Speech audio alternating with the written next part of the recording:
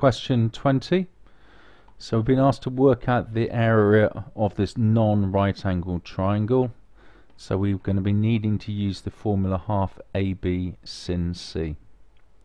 Now in order to use this we're going to need to know um, the lengths both side of the known angle. So we know this length, we're really going to need to know um, either work, work out this length here or alternatively we could work out this angle here and use these two sides here. In short you need to know side angle side.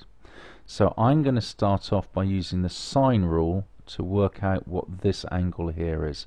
I can use the sine rule because I have a pair. I have an angle and the opposite side.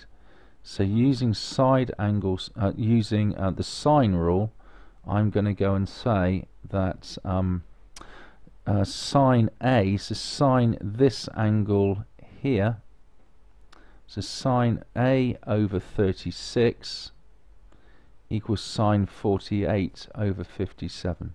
So just to go over that again, I've labeled it, I'm using the angles that we were given here, capital A, capital B, capital C, the opposite sides of the lowercase sides. This has given me an opportunity to work out what this angle is here, just using the sine rule. And working that through, I get angle A being 27.992, and therefore angle B, given angles in a triangle add up to 180, is going to be 104.007.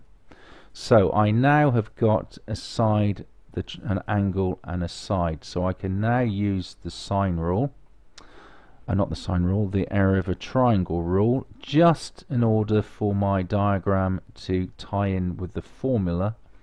I'm now going to re, uh, relabel my triangle uh, so I've got my angle being capital C. So this is now my capital C.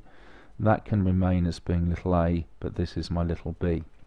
So it's half times a, 36, times b, which is 57, times sin, 104.007, gives me 995.49 dot dot dot, which is 995 to 3 sig figs.